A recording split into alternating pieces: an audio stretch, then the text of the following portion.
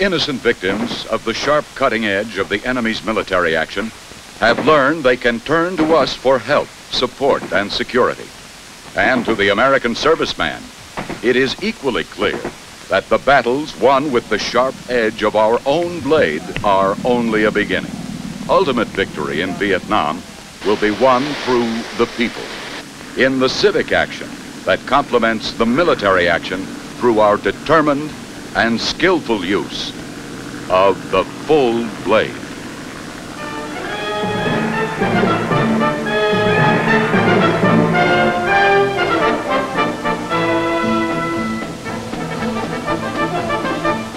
The concept of the full blade became a reality during the rice harvest along the Cam Bien River. A small number of village farmers had asked for help. They knew that in a few nights the Viet Cong would come to take what they needed in the form of a rice tax. So the men of the 1st Battalion, 9th Marines, moved inland on an operation called Golden Fleece, a classic example of civic action. On the surface, it might have appeared that this was just another grinding, methodical patrol. But in the coming days, the men of the 9th Regiment would not only save a rice crop, they would challenge more than a decade of communist control with America's first broad employment of the civic action concept in the Far East. Song Cambien, a rich, fertile, and very carefully cultivated valley. There is a proverb here that says, every inch of earth is an inch of gold.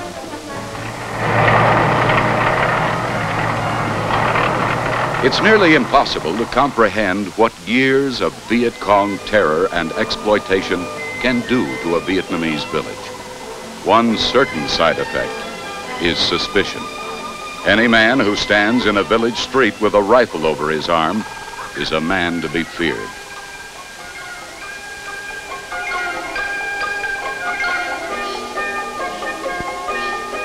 But fortunately for the farming people of Song Cam Bien, there were others who weren't afraid. They told what they knew about the Viet Cong hiding places, talked about the enemy's leaders. The cutting edge would come first. Using village guides, Marine patrols would push the Viet Cong out of the valley complex. Then villagers in the area would be brought to a collection point, provided protection in their rice fields during the harvest.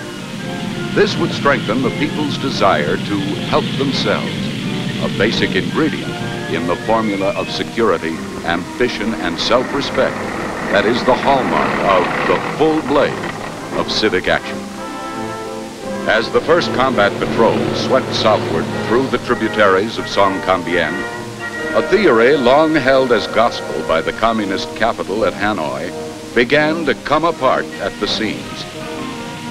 The Americans might fight in the Vietnamese countryside, but any real attempts at a genuine revolution in health, welfare, and self-sufficiency would be directed strictly toward the struggling central government in Saigon. This was the American way of doing things in the Far East. It was this postulate that the men of the 9th Regiment and their village guides began to pull apart the first moments of contact with a Viet Cong stronghold.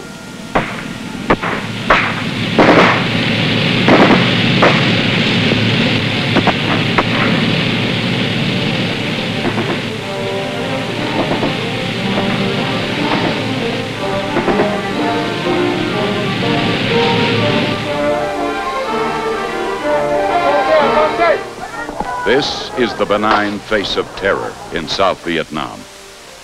To the farmers and peasants, he is a warrior of the seven-headed dragons.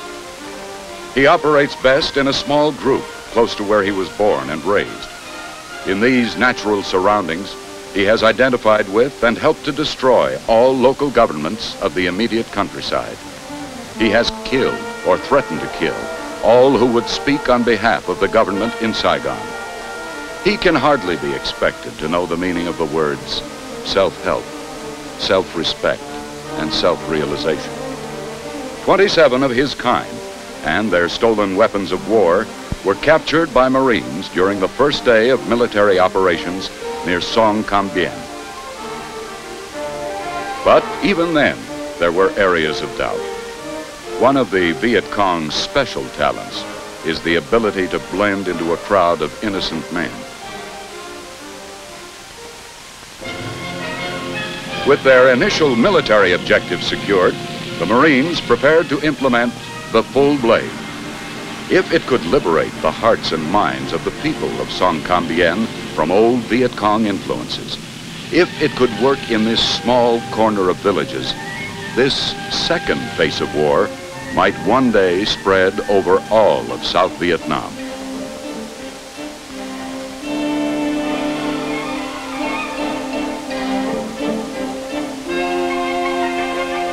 Now it was first things first.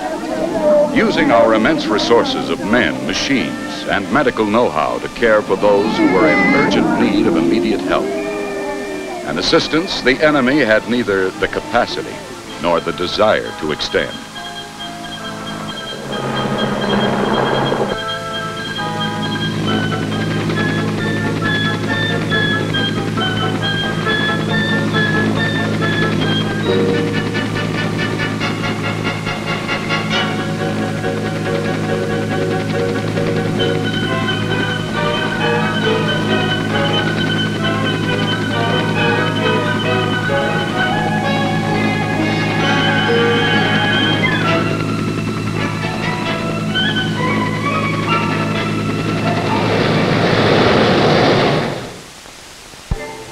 For the men ashore, there was still much more to do. Their deeds in the coming days would demonstrate to the Vietnamese, in fact, that the democracy we take for granted is more than idle political theory.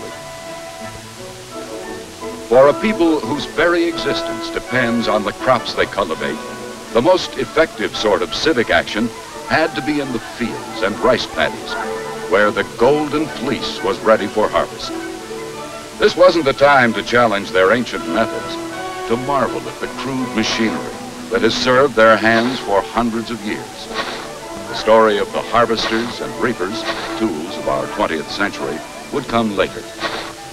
The important job was to bring in the crop to safety, away from the still very real threat of Viet Cong attack and direct gangland-style collection of rice tax, a tax that in the past has amounted to as much as 75% of the crop. To bring in the golden fleece of the native harvest, the same amphibious tractors that had carried the American servicemen into military action were used now to implement this phase of the civic action. The people, too, had to be brought in from the fields to the collection point. Here they were given a safe haven, while the diplomats in dungarees brought to a conclusion a people-to-people program that began 10,000 miles away in the homes, churches, and businesses of the United States. They carried out a program which did more than words to dispel the distrust born of years of unfriendly propaganda.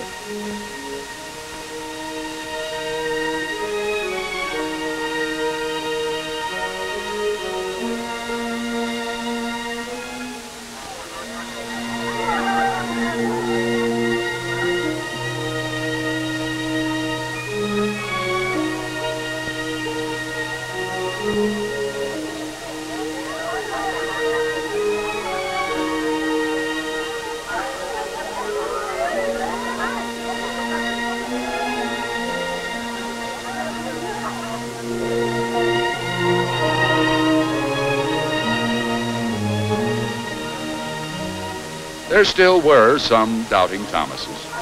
But in Vietnam, as everywhere else, there is still one sure route to the heart of a man.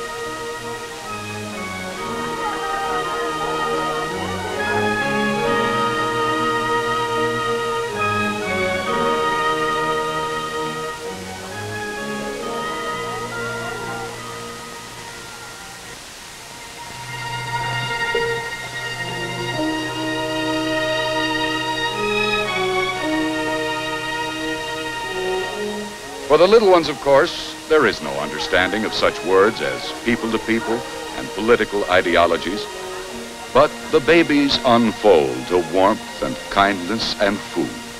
And with the responsiveness of all children, their bigger brothers soon decide the people-to-people concept should work both ways.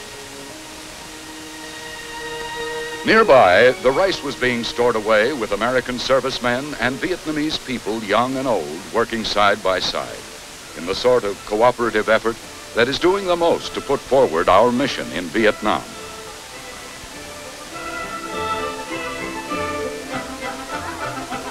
To the Vietnamese, every bit of the crop is vital. The straw of the rice stalks is transformed into the mats on which they sit, the ropes that tie their bundles, the sandals on their feet, even the roofs over their heads.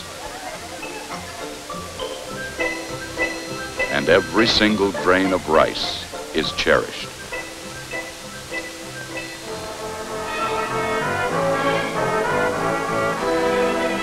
Soldiers of the Army of the Republic of Vietnam and American officers worked side by side in Operation Golden Fleece. With the grain stored, and the needs of the flesh attended to, it was time for another phase of our civic action. The story translated into pictures of the kind of help our technological advances can provide during future harvests along the Cambien River. The same amtrac that carried out the fighting men and brought in the grain became a crude but effective motion picture theater. To the men who handed out the pamphlets that amplified the story told by the film, it was clear that the villagers were interested, and our positive action was wiping away the generations old veneer of distrust and doubt. But whatever the method, whenever the harvest, the rice crop represents life itself to these people of Vietnam. Certainly, no Jason ever found a more truly golden fleece. Operation Golden Fleece was a classic example of combined military and civic action. Its fulfilled aim was to supplement the capabilities, needs, and aspirations of a people so that one day when we are gone, they will be able to carry on alone.